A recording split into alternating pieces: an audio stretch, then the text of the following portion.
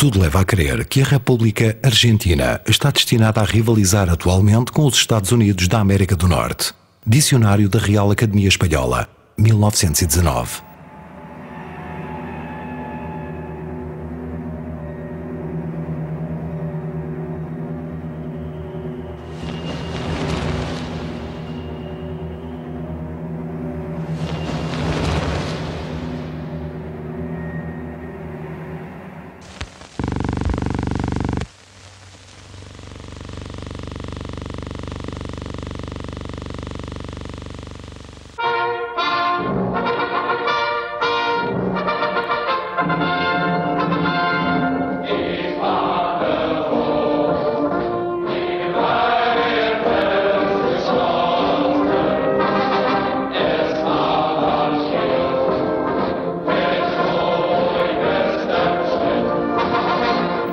Mil argentinos e alemães festejam a anexação da Áustria pelo Terceiro Reich.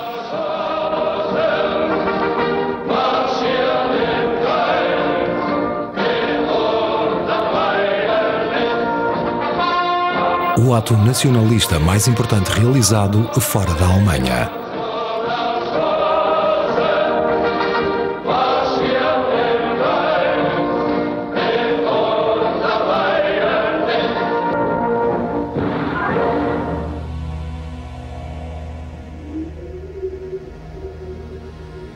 No final da Segunda Guerra Mundial, os físicos alemães esforçavam-se por criar uma bomba atómica primeiro do que os Estados Unidos. E desse modo, juntamente com outras armas secretas, deter a queda iminente do Terceiro Reich.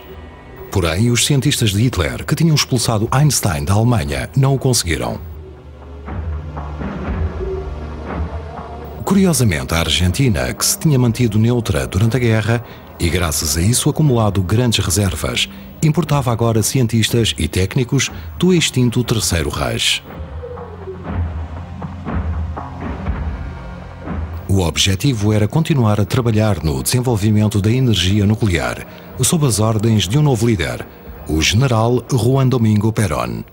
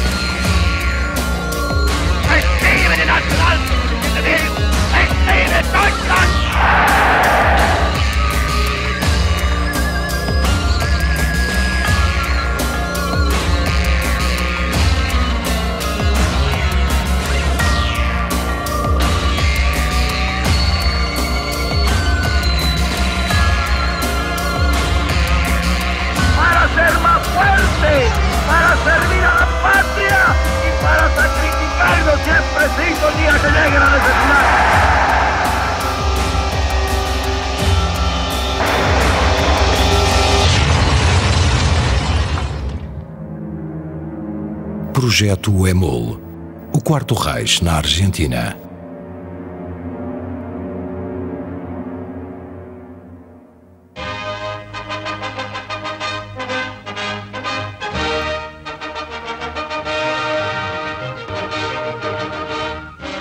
Crossing the Atlantic, President Truman announces the unleashing of the cataclysmic elemental power of the atom. A short time ago, an American airplane dropped one bomb on Hiroshima and destroyed its usefulness to the enemy.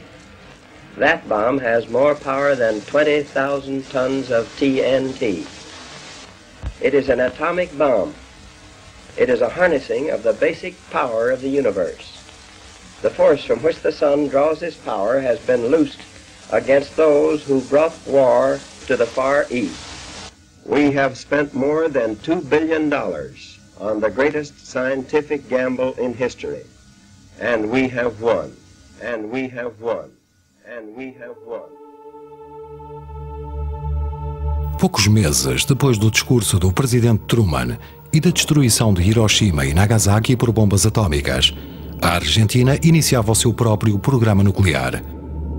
Apenas os Estados Unidos sabiam como libertar a potente energia contida nos átomos a União Soviética não tinha ainda logrado detonar uma bomba A. Em 1947, a revista norte-americana de esquerda liberal The New Republic publicava uma informação alarmante. A Argentina está a preparar um programa militar secreto de pesquisa da bomba atómica, que não pode passar despercebido, dado o potencial económico do país. Também se destacava a possível imigração para a Argentina do famoso físico alemão e prémio Nobel Werner Heisenberg. O semanário perguntava como é que um país alheio aos conflitos internacionais poderia alterar o equilíbrio entre as grandes potências do pós-guerra pela primeira vez.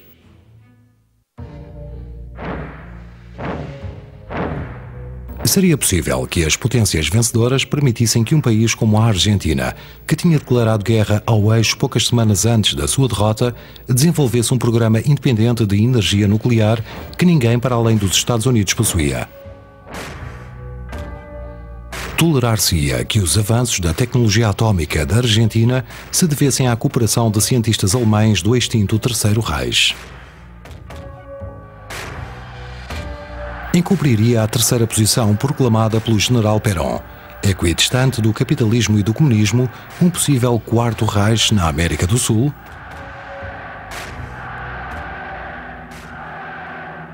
Porque é que a propaganda oficial dos Estados Unidos fez todos os possíveis para identificar Perón com os nazis? Até que ponto Perón, as Forças Armadas Argentinas e a população civil simpatizavam com o nacional-socialismo? O programa nuclear argentino incluía também o desenvolvimento de uma bomba atômica, aquela que Adolf Hitler não conseguiu criar. A Argentina tinha um governo baseado numa visão do mundo semelhante à nossa. General da Brigada das SS Walter Schellenberg, 1946. No Natal de 1947, o Mayor Galhardo Valdez, adido aeronáutico da Embaixada Argentina em Estocolmo, recebeu um telegrama confidencial dos seus superiores em Buenos Aires. Em poucas linhas, ordenavam-lhe que esquecesse o seu destino inicial na Embaixada em Moscovo e que viajasse em missão secreta para Oslo. Aí, o cônsul argentino entregar-lhe-ia três cidadãos alemães que deveria levar para a Argentina com passaportes falsos. O Meyer Galhardo Valdés era antiperonista e tinha-se recusado a fazer parte da Assembleia Militar Secreta GOU, da qual Perón era um dos líderes, pois considerava tratar-se de uma facção nazi. No entanto, foi a ele que confiaram a missão secreta.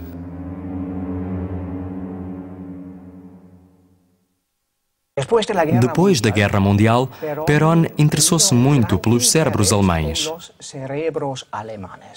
Tinha interesse por técnicos, professores universitários, engenheiros, e para eles, a Argentina tinha a porta aberta.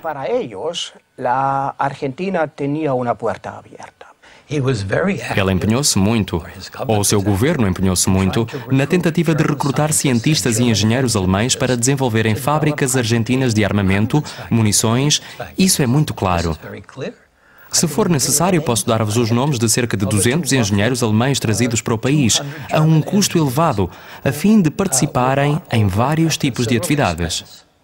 Uh, to participate in different types of activities.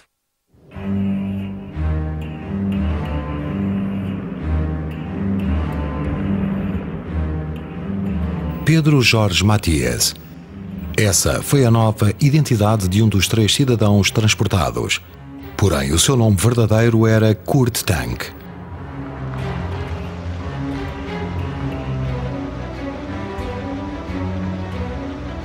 Como o famoso engenheiro aeronáutico Kurt Tank tinha desenvolvido os caças mais modernos do Terceiro Reich, o seu desejo era refugiar-se na América do Sul para não ter de entregar os seus conhecimentos aos Estados Unidos, ou pior ainda, à União Soviética. Dava a sensação de que o meu pai, no fim da guerra, não tinha grande vontade de trabalhar para os que tinham sido os seus inimigos.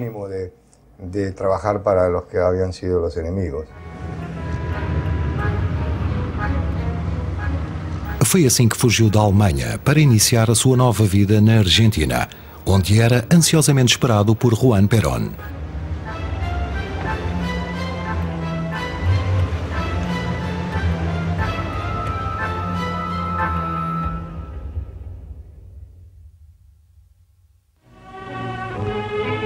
Fecha memorable en la historia de la patria. Se abre el camino para la reconstrucción nacional. Se defiende al pueblo que trabaja creando la Secretaría de Trabajo y Previsión, Hace su cargo al frente del nuevo organismo del Estado el coronel Juan Perón. O Coronel Perón fez uma ascensão meteórica na ditadura militar estabelecida em 1943. Da Secretaria do Trabalho passou para o Ministério de Guerra, seguindo-se a vice-presidência da nação. Mas foi a partir da sua breve queda, em outubro de 1945, e da sua retirada do serviço ativo, que Perón organizou um partido trabalhista, através do qual ganhou as eleições presidenciais em fevereiro de 1946. Boa parte da sua campanha presidencial tinha sido financiada por Ludwig Freud. Freud contribuiu financeiramente para a campanha eleitoral de Perón e, quiçá, também de outra forma que se desconhece. Durante a guerra, Freud tinha apoiado o Terceiro Reich e antes, durante e depois da catástrofe nazi, era um elo de ligação fundamental entre os alemães e o cada vez mais influente Coronel Perón. Ludwig foi o célebre representante especial do Partido Nacional Socialista Alemão e teve um cargo muito elevado, digamos, no Partido Nacional Socialista Alemão, implantado aqui. Mal assumiu o governo, Perón nomeou como diretor do recém-criado Serviço de Informação de Estado o filho de Ludwig Freud, Rodolfo, que também foi membro da Comissão Peralta cuja tarefa era facilitar o refúgio ao peculiar fluxo imigratório alemão do pós-guerra. Esta comissão dependia do chefe da Direção Nacional de Imigração, um antissemita, chamado Santiago Peralta. Da mesma comissão faziam também parte Juan Duarte, irmão de Eva Perón e secretário particular do presidente, e o ex-comandante das SS Horst, Alberto Carlos Fultner. Curiosamente, Juan Duarte e Fultner dirigiam a agência de viagens Vinador, criada para transportar os criminosos de guerra refugiados na Suécia, Dinamarca e Espanha. Os refugiados viajavam com frequência nos navios do armador argentino Alberto Dodero, mecenas de Aristóteles Onassis e grande amigo do casal Perón. A amizade de Dodero com Juan e Eva Perón era tal que o empresário suportou todos os custos da viagem à Europa da mulher do presidente em 1947, chegando a acompanhá-la no circuito. Duas décadas mais tarde, numa entrevista ao jornalista e escritor Tomás Eloy Martínez, gravada em 1970, Perón admitiu abertamente que tinha ajudado os alemães a refugiarem-se na Argentina. Terminara la guerra, nosotros nos habíamos preparado ya para la posguerra. Les hicimos saber a los alemanes que les íbamos a declarar la guerra para salvar miles de vidas. Cuando terminó la guerra, esos alemanes útiles nos ayudaron a levantar nuevas fábricas y a mejorar las que ya teníamos. Y de paso, se ayudaron ellos mismos. Os imigrantes alemães não tinham qualquer dificuldade em entrar na Argentina. Embora a imigração da Europa fosse ilegal, a imigração normalmente era legal ou, digamos, semi-ilegal.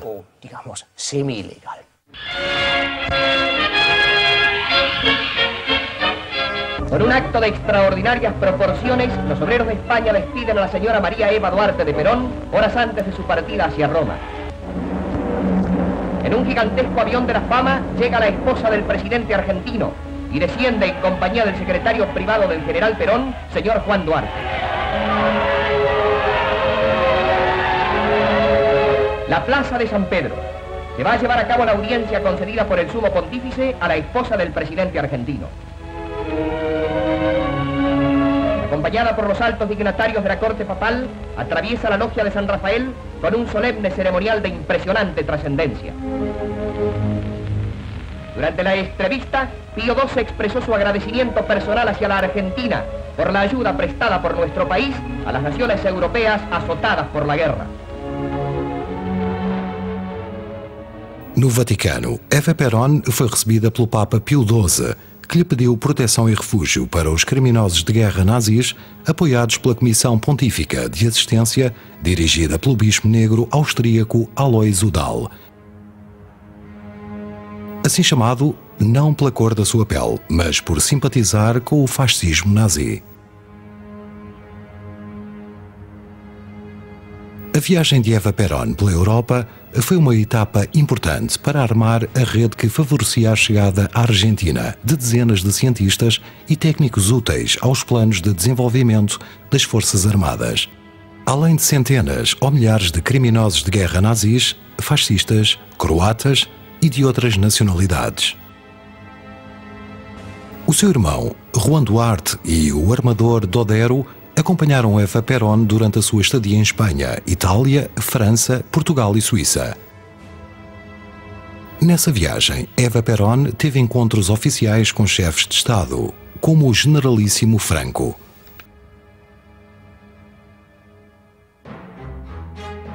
Num dossiê publicado em 1947, o Departamento de Estado norte-americano denunciava a transferência para fora da Alemanha de bens de industriais e oficiais superiores nazis.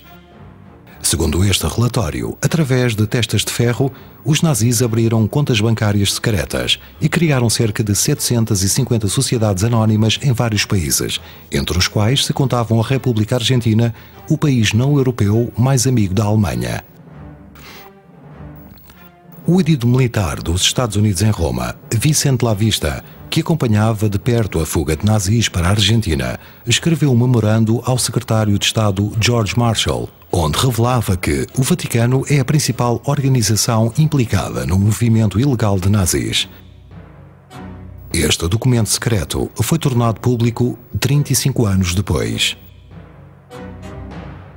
O Vaticano o Vaticano prestou uma grande ajuda a pessoas anticomunistas, colaboracionistas, fascistas e nacionais socialistas que queriam escapar. A rede Redline começava a funcionar. Graças à influência do funcionário Santiago Peralta na agência de viagens Via Norte, do ex-SS Foldnor e de Juan Duarte, na Europa, graças à Comissão Pontifícia de Assistência e à Cruz Vermelha Internacional. Depois da visita de Eva Perón à Europa, encontraram refúgio na Argentina Joseph Mengele, com o nome falso de Dr. Helmut Gregor, bilhete de identidade argentino número 3940484.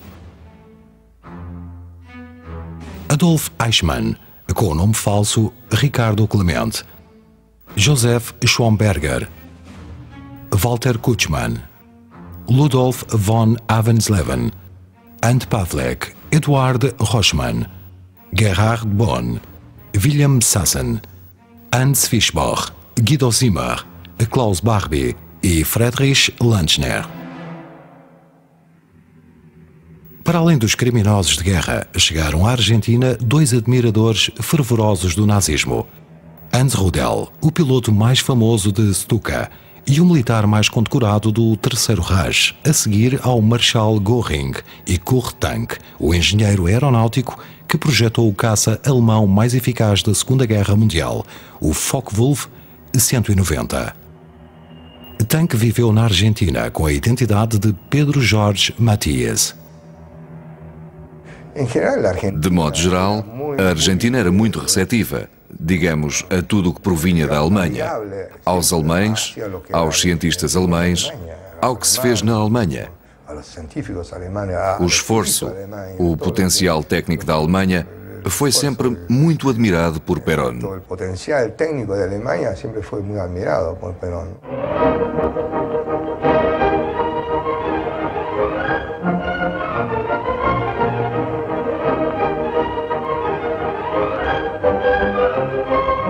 Mientras los pueblos de vieja historia viven la tremenda incertidumbre de un futuro de muy remotas perspectivas de paz y felicidad, en América una nación resuelve el insoluble problema acudiendo al patriotismo de sus gobernantes y a la fe inquebrantable de sus hijos. Em janeiro de 1945, a ditadura militar, cujo homem forte era o Coronel Perón, criou a Força Aérea Argentina. A unidade equipou-se com aviões importados, principalmente de Inglaterra, como forma de pagamento das dívidas que este país tinha à Argentina. Mas o regime militar desejava desenvolver uma engenharia própria. Para esse fim, contratou o engenheiro aeronáutico Kurt Tank, que começou a trabalhar no Pulky 2, baseado no projeto do Focke-Wulf TA-183. A nova versão começou a voar a partir de 1950. Integrado nesse programa que utilizava a tecnologia e peritos alemães que mencionei anteriormente e que tentava trazer engenheiros e químicos, estava este homem, Kurt Tank, entre outros. A sua função era ajudar a construir uma fábrica de aviões. Produziram alguns protótipos de aviões e tudo funcionou bem, até que se deu um acidente em que morreu um ou mais dos pilotos alemães que tinha trazido. O meu pai sempre o pilotou e nunca aconteceu nada. Bom, o meu pai era verdadeiramente o culminar do ideal de um construtor de aviões, pois era o único dos engenheiros alemães que voava. Essa era a grande vantagem porque ele sentia a aerodinâmica do avião. Experimentava tudo o que criava em teoria e isso é muito importante. Ideava, lo provava, e isso é muito importante. Pouco depois de chegar à Argentina, o engenheiro Tank recomendou a Perón que incluísse o físico austríaco Ronald Richter no crescente plantel de cientistas e técnicos alemães ao serviço do governo peronista. Tank estava a realizar um excelente trabalho na fábrica militar de aviões de Córdoba, com o Pulque 2, e a sua recomendação foi acatada por Perón. Já conhecia a doutrina do nacionalsocialismo. Tinha lido muitos livros sobre Hitler. Tinha lido Mein Kampf. Não só em castelhano, mas também em italiano. Juan Perón.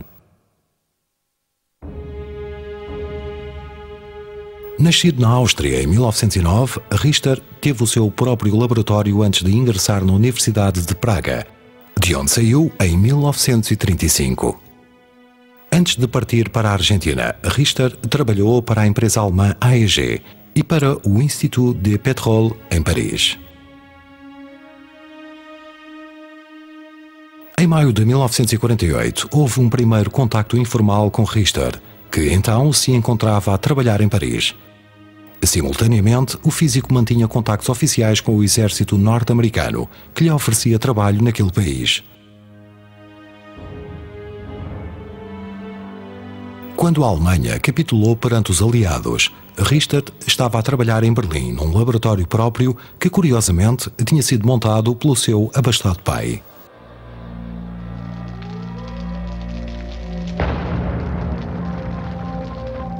Antes de os russos ocuparem a capital do Reich, Richter destruiu o laboratório com a ajuda do seu colaborador Heinz Jagd e refugiou-se na zona de ocupação norte-americana, onde o tenente-coronel Elmer Stahl se interessou pelos seus trabalhos.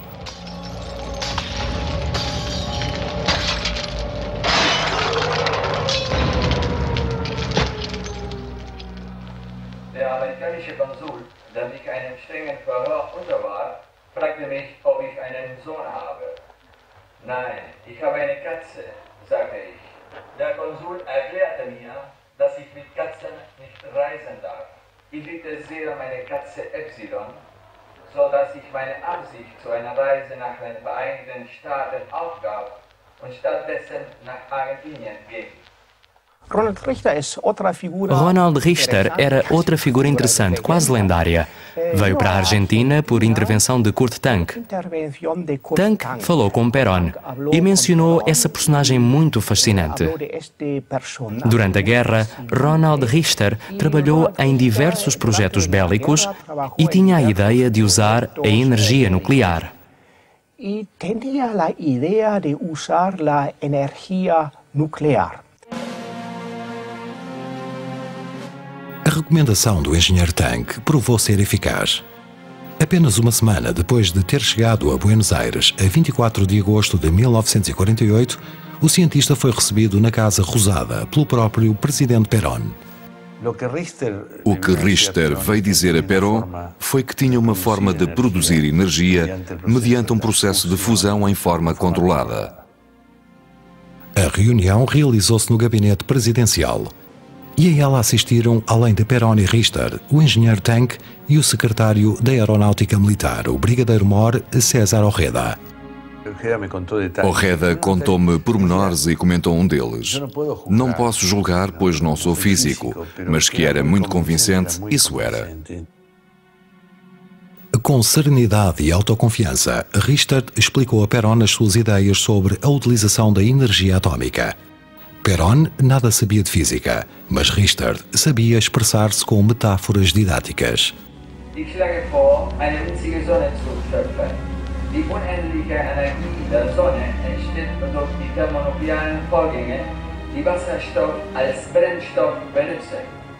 Das in der Natur reichlich vorhandene Element.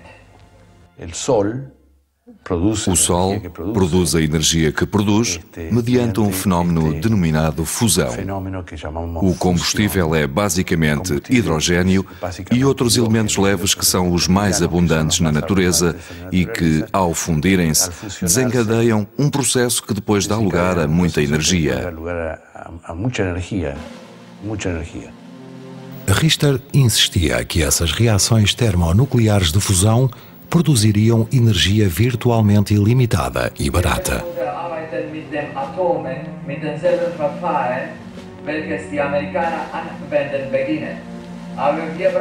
ungefähr 6000 Millionen Dollar.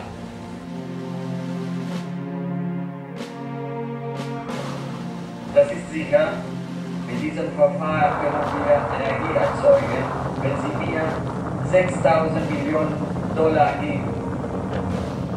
Das besteht in der Schwänze. Auf diesem Wege können wir Erfolg haben oder nicht. Man muss zwei oder drei Sachen entdecken und wir können Erfolg haben oder nicht. Aber das können wir mit wenig Geld machen. Pensemos na energia do Sol. Digamos, há muitos anos que ele brilha, há milhares de milhões de anos, e continuará a brilhar outros tantos milhares. A energia produzida pelo Sol é muita. Bastou aquele primeiro encontro com Perón para Richter se instalar em Córdoba, junto a Tank. Mas com um laboratório próprio. O projeto atômico estava em marcha. Em Córdoba, Richter trabalhou sem grandes novidades alguns meses. Em Villa del Lago, entre as modestas serras cordovesas, estabeleceu-se, graças a Perón, uma pequena comunidade de alemães, quase todos peritos em aeronáutica, incluindo os pilotos Behrens e o mais famoso Rudel. Mas Richter mantinha-se distante dos outros e não sentia que fazia parte do grupo de técnicos aeronáuticos. Quase todas as semanas, Richter e Tank viajavam até Buenos Aires, onde participavam em reuniões técnicas no gabinete do Brigadeiro-Mor Orreda. Em Vila del Lago, tudo corria bem até alguns incidentes terem revelado que a personalidade do Dr. Richter não estava isenta de graves defeitos. Era autoritário e tinha uma veia paranoica que o fazia ver espiões e sabotadores em todo lado, inclusive entre os seus colaboradores. Desse modo, a relação de Richter com o as veterano do bombardeamento em voo picado Hans Rudel e os restantes alemães começou a deteriorar-se. Quando Javka, o seu colaborador que o tinha ajudado a destruir o laboratório em Berlim, chegou a Villa del Lago com a família, contratado a pedido de Richter, a vida social deste e da sua mulher limitou-se aos convívios com o Javka. As relações humanas em torno do líder do projeto atômico argentino eram tão más ao ponto de Hans Rudel, perante a surpresa dos seus amigos nazis Behrens Milderbach e Kallenbach, chegarem a propor que se colocasse uma bomba debaixo do carro de Javka.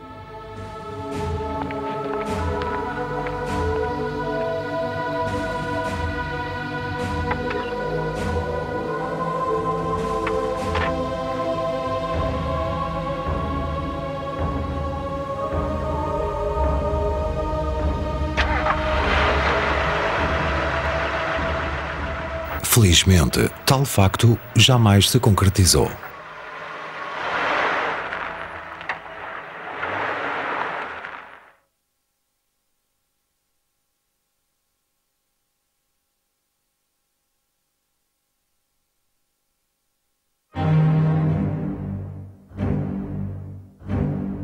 No início de 1949, deflagrou um incêndio no laboratório de Richter, que, segundo a investigação policial, foi provocado por um curto-circuito.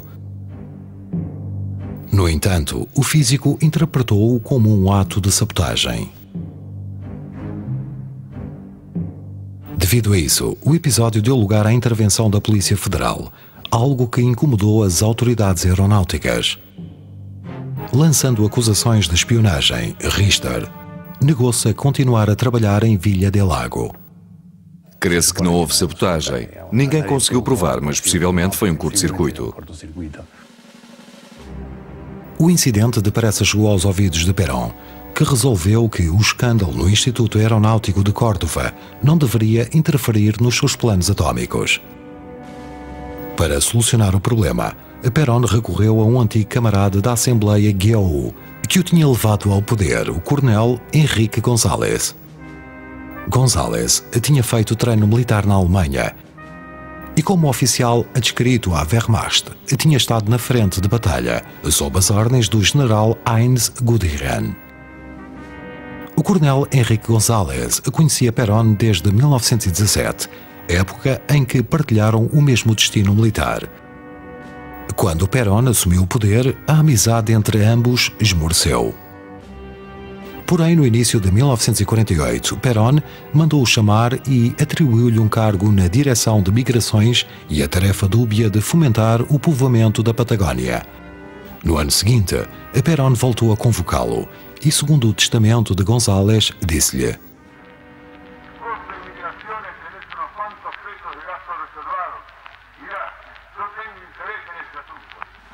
Então, Perón informou sobre o plano secreto para obter energia nuclear de fusão e os problemas que tinha com Richter.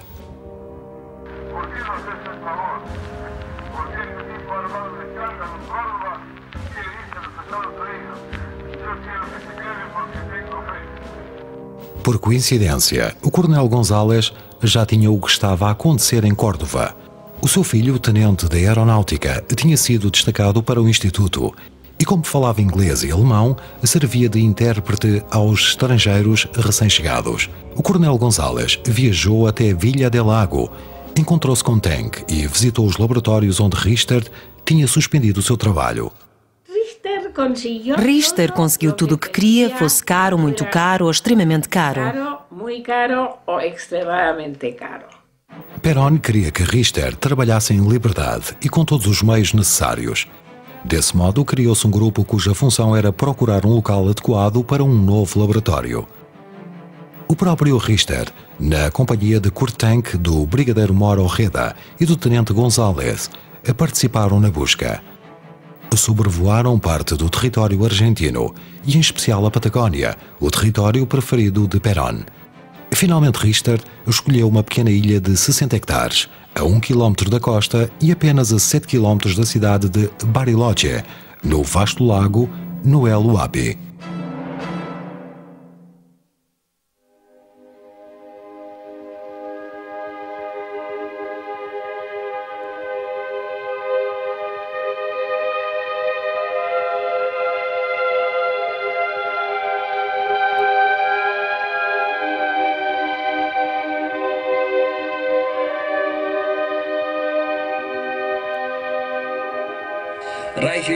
Reines frisches Wasser zur Abkühlung, keinen Staub, der die Apparate und Instrumente stören könnte und einen Ort, wo man geheime Arbeiten hüten kann. Esse local era a ilha Wemul.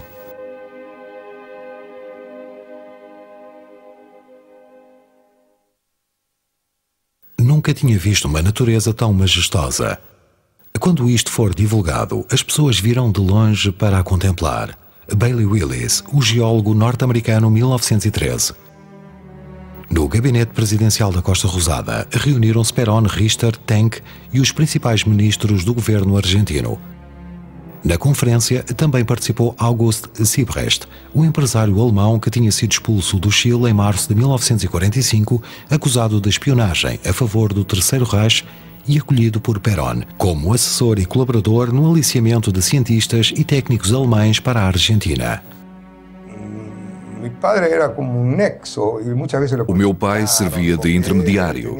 Era frequentemente consultado porque tinha bons contactos por interpostas pessoas com Perón, como por exemplo o Dr. Zibrecht. Que era o Dr. Zibrecht, não? Perón explicou o projeto atômico de Richter aos presentes e comentou que uma das aplicações práticas seria um motor atômico para submarinos. Por fim, nomeou o Coronel González diretor do Programa Nuclear Secreto Argentino. Os planos das obras, sob as ordens de Richter, já estavam em marcha.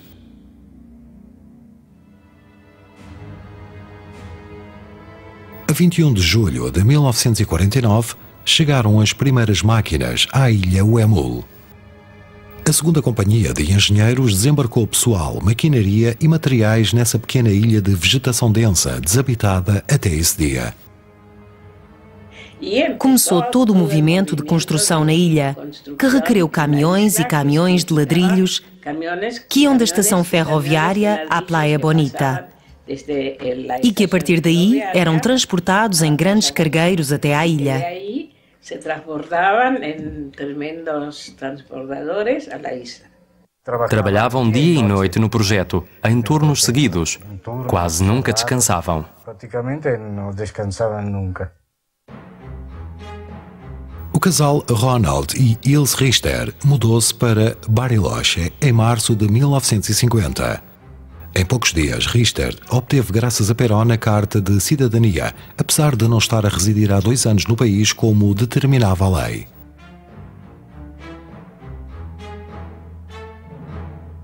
Na ilha havia 400 pessoas a trabalhar. As grandes lanchas atravessavam o estreito lago que a separava de Playa Bonita, com caminhões carregados de maquinaria e materiais. A empresa estatal Fabricaciones Militares e o Exército tinham ordens superiores para dar prioridade máxima aos pedidos provenientes da ilha do Emul. Houve uma fase no país em que escasseavam sacos de cimento e ladrilhos, pois ia tudo para a ilha de Hummel, o que implicava um movimento muito grande na zona de Bariloche. A Força Aérea também dispôs de maquinaria própria. O comandante Blayson, piloto sob as ordens do Coronel González, realizou inúmeros voos para Bariloche, desde diversas cidades da Argentina. Também se realizaram voos especiais à Grã-Bretanha, aos Estados Unidos e a outros países para introduzir em segredo os materiais estratégicos de que Richard necessitava. Um memorando do Coronel González afirmava que metade dos materiais e equipamentos necessários se obtiveram por contrabando. Aparelhos importados da Philips, da Europa, especialmente da Holanda, aparelhos que nunca teria sido possível obter normalmente.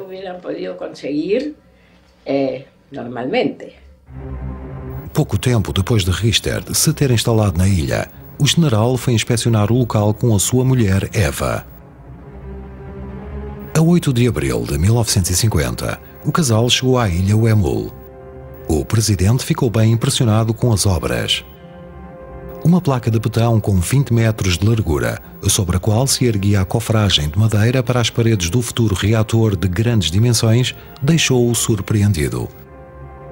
Os noticiários de rádio e de cinema e os jornais da época, controlados por Perón, não fizeram eco da visita presidencial ao local mais secreto do país. No entanto, os rumores sobre um projeto especial que se realizava aí já se escutavam mais para além da cidade de Bariloche. Foi uma visita curta. Na verdade, ninguém falava disso. O dinheiro exigido pelo projeto da ilha Wemul já não podia justificar-se como gastos reservados da Direção de Migrações dirigida pelo General González. Para justificar essas despesas, Perón assinou o decreto 10936, que criava a Comissão Nacional de Energia Atômica e cujo primeiro presidente era ele próprio e cujo secretário-geral era o Coronel González. A decisão de Perón não se desfez, mas confirmou as suspeitas que pairavam em Buenos Aires, Washington e Rio de Janeiro. No Brasil, o político radical exilado Agostinho Rodrigues, de Araia, denunciou num artigo publicado pelo Folha da Manhã de São Paulo que o governo argentino queria fabricar uma bomba atômica e que o enunciado pacífico do decreto que criava a CONEA era uma cortina que visava ocultar a ambição hegemónica de Perón. A terceira posição proclamada por Perón pretendia uma Buenos Aires equidistante dos polos da Guerra Fria entre Washington e Moscovo, como se aquela Argentina autoritária, católica, militarista e sindicalista fosse para o resto da humanidade uma alternativa digna de consideração entre o capitalismo liberal e o comunismo totalitário. Para garantir esta declaração de independência, era necessário algo mais do que as reservas acumuladas pelo Banco Central durante a guerra era necessário emular os logros do fascismo e do nacional-socialismo que o capitão Perón tinha visto com os seus próprios olhos entre 1938 e 41. Perón tinha uma linha nacional-socialista. Lembremos-nos de que o partido se denominava nacional-socialista, um socialismo nacional. Talvez esperasse, quando chegou ao poder com as suas ideias, conseguir mover-se continuamente nessa direção. Perón admirava este tipo de solução. Para ele, não era totalmente adaptável à Argentina, mas talvez o fosse parcialmente. Perón copiou a nacionalização de várias empresas, o controle estatal dos sindicatos, o turismo operário e a ideia inovadora de criar uma Secretaria de Cultura da Nação. Quando finalmente conquistou todo o poder em 1946, não admirava os Estados Unidos, a Grã-Bretanha, a URSS e nem a Finlândia. A Itália e a Alemanha, que admirara até há pouco tempo, estavam de joelhos, invadidas e bombardeadas para estabelecer a sua pátria livre, justa e soberana, e com um cinismo astuto para não ofender os vencedores, Perón aprovisionou o seu país de tudo o que pôde resgatar do naufrágio do eixo Roma-Berlim.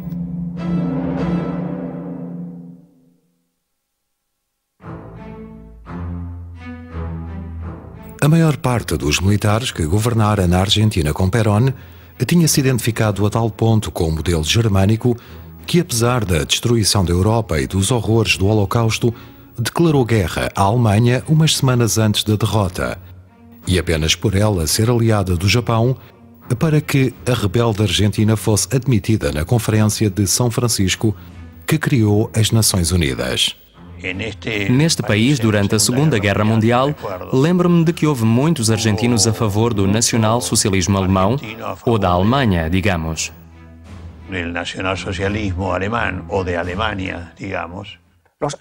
Os alemães escaparam para a Argentina a fim de se organizarem novamente e formarem o Quarto Reich.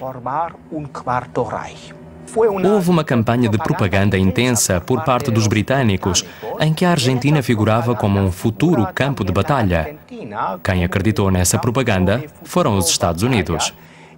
Os que creían esta propaganda fueron los Estados Unidos. O Focke-Wulf TA-183 renascia nas pompas como o Pulky 2. O as dos bombardeiros de voo picado Hans Rudel colaborava na construção das forças armadas mais poderosas da América do Sul. O novo serviço de informação da Casa Rosada era dirigido pelo filho de um alemão com fortes ligações ao nazismo.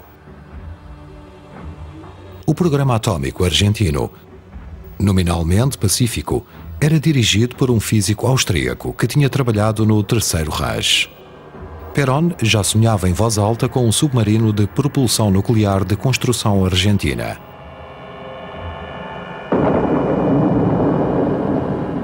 Sonharia também com a bomba atômica celeste e branca. É infantil ser-se impaciente. A misericórdia de Hitler é ecumênica. Em breve gozaremos de todos os benefícios da tortura, da sodomia, do estupro e das execuções em massa. Jorge Luís Borges, Revista Sur, 1941. A posição principal do governo de Irigoyen foi a neutralidade. Isso foi entendido como um ato amistoso por parte do governo alemão. Desse modo, a visão da Argentina pela opinião pública alemã foi muito positiva. Irigoyen manteve uma política latino-americana de oposição à política imperialista norte-americana. Poderíamos chamar-lhe uma neutralidade benévola relativamente à Alemanha. Os vencedores não permitiram que a Alemanha fosse admitida na Liga das Nações, deixando-a de fora da nova ordem internacional, liderada, entre outras, pelos Estados Unidos, governados então pelo presidente Thomas Woodrow Wilson. Só uma nação levantou a voz para defender que não deveria haver países excluídos como a Alemanha e se retirou da Assembleia sob protesto. Essa nação foi a República Argentina. Quando acidentalmente um deputado no Reichstag, o parlamento alemão, mencionou o nome de Irigoyen, todos os seus colegas se puseram de pé e aplaudiram o presidente argentino. Então, esse presidente foi verdadeiramente popular na Alemanha. Porém, todos esses méritos não foram suficientes para evitar que o mais germanófilo dos generais argentinos, José Félix Uriburu, o derrubasse durante a segunda presidência, em setembro de 1930. Entre os jovens oficiais que apoiaram Uriburu encontrava-se o capitão Juan Domingo Perón, que 16 anos depois chegaria paradoxalmente à presidência das Nações graças ao voto popular.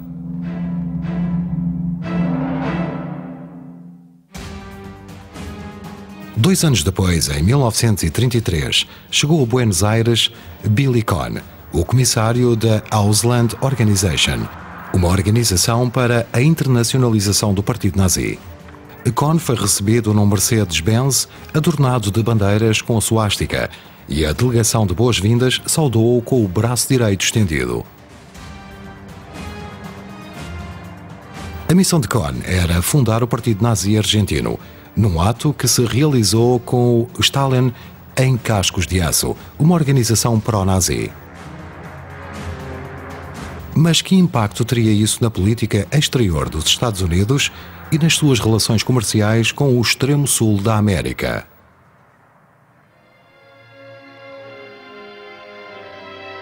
A preocupação norte-americana não se centrou unicamente na posição comercial da Argentina.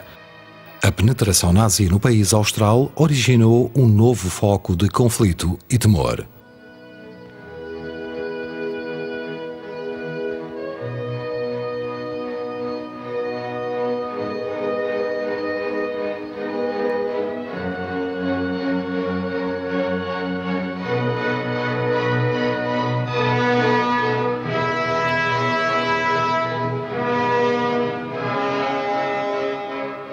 A força do Partido Nacional Socialista era tal no país que, na própria Alemanha, a Argentina era promovida como uma nação amiga. So wie in Argentinien, wo sich die Landesgruppe aus kleinsten Anfängen heraus bereits Jahre vor der Machtergreifung entwickelte, ist heute im Ausland auf allen Gebieten der Politik, Kultur und Wirtschaft lebendiges Zentrum die Landesgruppe der Auslandsorganisation der Partei. Neste contexto internacional da propaganda nazi, a Argentina era uma nação adepta da causa, a tal ponto que, a 10 de abril de 1938, no estádio Luna Park de Buenos Aires, organizou-se uma cerimónia à qual assistiram mais de 20 mil pessoas para celebrar o Auschwitz, a anexação da Áustria pelo Terceiro Reich.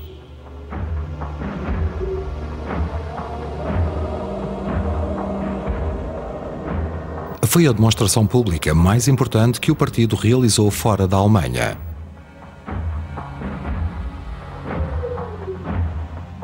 O principal orador da cerimónia foi o chefe do partido nazi na Argentina, Alfred Müller. Fui com a minha mãe, o meu pai estava no pódio a discursar. Talvez nesse momento tenham dito, todos com o mesmo ideal, com a mesma ideia política. O que não era assim tão pouco. A Segunda Guerra Mundial vai ser muito mais complicada por causa da questão do nazismo, da questão do racismo, também por causa da colónia judaica que existia aqui e que tinha de se ter em conta.